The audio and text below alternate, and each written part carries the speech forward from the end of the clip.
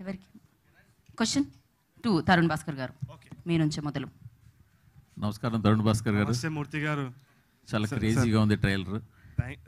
Teaser క్రేజీగా ఉంది. క్రేజీగా ఉంది చాలా. బాగుంది.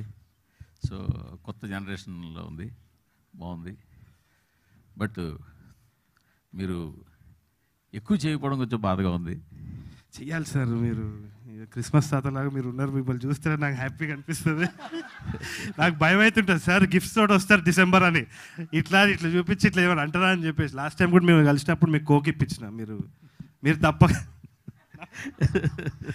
కాదు నేను తప్పకుండా ఎక్కువ చేయాలి సార్. కాకపోతే ఫికల్ మైండెడ్ నేచర్ నాది. ఇక ఏదో చేస్తూ ఉంటా. మధ్యలో ఒక డాన్స్ కూడా చేసిన కొత్తగా వస్తుంది అది. ఇట్స్ లైక్ దట్ కానీ ఈసారి మాత్రం ఇంకా తొందరగా ట్రై చేస్తాం. అంటే పెళ్ళి చూపుల నుంచి వినిపిస్తున్నది ఏంటంటే సురేష్ బ్యానర్లో ఒక మంచి పెద్ద సినిమా అన్నది గోడ మీద రేపు అన్నట్టు రాసి ఉంది అది. అది ఎప్పుడు? చిన్న సినిమాలు అన్ని పెద్దగా అవుతుంటే మీరు ఇంకా పెద్దదంటారు ఏం సార్? నేను అనేది Suresh banner Suresh banner Suresh banner Suresh బ్యానర్లో మీ సినిమా అన్నది ఎప్పటి నుంచో వినిపిస్తోంది. అది ఎప్పుడు? సురేష్? నేను ఇప్పటి వరకు చేసిందంతా సురేష్ సార్ బ్యానర్లోనే సార్. బ్యానర్ ముద్ర వేయడం వేరు సార్. రిక్రిడేషన్ ఇచ్చినప్పుడు ఆయన చెప్పినట్టు చివరిలో ముద్ర ఎలాగే వేస్తారు? సురేష్ బ్యానర్ ముద్ర వేసినవన్నీ సురేష్ బ్యానర్ సినిమాలు కావు. అట్లా అంటున్నారా. అయితే- సినిమా మొత్తం చేసి సురేష్ బాబు గారు తీసుకెళ్ళి స్టాంప్ ఎంచుకొచ్చే సినిమాలన్నీ సురేష్ బాబు గారు. వాస్తవానికి యాక్చువల్లీ ఎస్పీ బ్యానర్లోనే ఒక సినిమా ఉండే. కాకపోతే అది ఐటరేషన్ చేసి చేసి చేసి మధ్యలో నేను అనుకున్నా ఇంకా I wanted to just do one small film so అది స్మాల్ మెల్లగా ఇంకా ఖర్చు అయిపోయి మా ఫ్రెండ్స్ అందరు ప్రొడ్యూస్ చేసినారు. ఇట్లా అయింది అంతే. బట్ బయట ఏమనుకుంటున్నారంటే ఏమనుకుంటున్నారు? మిమ్మల్ని సురేష్ బ్యానర్లో కట్టేశారు. బయట ఏమనుకుంటున్నారు అంటే అని మీరు అంటారు అది. అదే అక్కడ సురేష్ కాదు కాదు. సురేష్ బ్యానర్లో మిమ్మల్ని కట్టేశారు. అంతవరకు మీ దగ్గర సరైన సినిమా రావట్లేదు అంటున్నారు. నేను అదే అంటున్నా. నేను ఏం చెప్తున్నా అంటే నేను మీరు ఇప్పుడు సురేష్ కొండేటి గారు కూడా ఉన్నారు. ఆయన బ్యానర్లో కూడా చేస్తా. ఫస్ట్ నేమ్ సురేష్ ఉండాలి అంతే. ఫస్ట్ నేమ్ సురేష్ ఉంటే సురేష్ ఉండాలి. ఓకేనా? ఫస్ట్ నేమ్ సురేష్ ఉండాలి.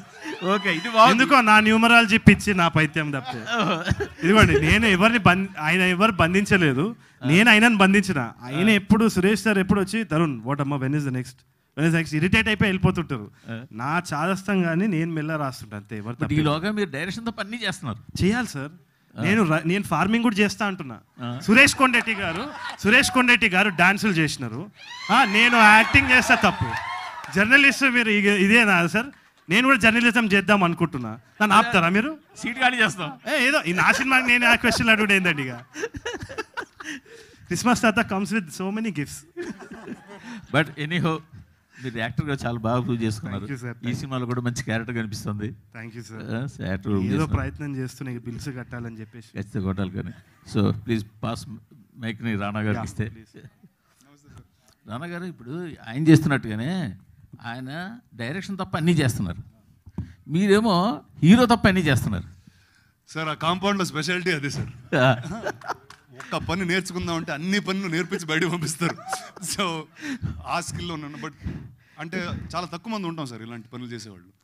See always learning new things teaching new things being able to create new things అన్నది that's actually the art form sir అది మనం మర్చిపోయి ఒక ఒక గ్రేట్ స్టోరీని మనం ఒక బాక్స్ ఆఫీస్ రిధంలో ఇది బిగ్ సినిమా ఇది స్మాల్ సినిమా సో ఈ నగరానికి ఏమైంది అనేది తీసేటప్పుడు చాలామంది తీయొద్దన్నారు. రిలీజ్ చేసేటప్పుడు ఇంకా చాలామంది దాన్ని చాలా that's not a film to do or they didn't expect greatness of it five years later it still ran it still corrected more money అంటే ఆర్ట్ ఫామ్ని అర్థం చేసుకునే విధానం ఉంటుందండి. And I feel if all of you can understand that and promote more cinema like this will be far greater industry then what but మీరు fill beyond films మీరు ఇంకా చాలా చేస్తున్నారు కదా. బియాండ్ ఫిల్మ్స్ అది నా జాబ్ సార్ అదే అదే. రకరకాలు స్టూడియోలో ఇరవై ఏళ్ళ నుంచి జాబ్ చేస్తున్నాను సార్ ఆ జాబ్లో ఏదో ఒకటి చేయాలి ఏది దొరికితే అటు చేస్తూనే ఉంటారు. ఏది దొరికితే చేస్తూనే ఉంటారు అమర చిత్ర కదా. ఏది కొత్తగా ఉందో ఏది ఇంట్రెస్టింగ్ ఉందో ఏది ఎక్కువ రీచ్ అవ్వగలుగుతుందో అది చేస్తూ ఉంటాను ఇది ప్రాజెక్ట్ కేక్ సంబంధించి మీకు ప్రాజెక్ట్కి ఉన్న రిలేషన్ ఏంటి? చాలా రిలేషన్ ఉందండి. అదే దాని గురించి అడుగుతున్నాను. ఇప్పుడు కీడాకోల రిలేషన్ గురించి మాట్లాడుతున్నాం సార్. సరే ఇది కూడా కే ఉంది కానీ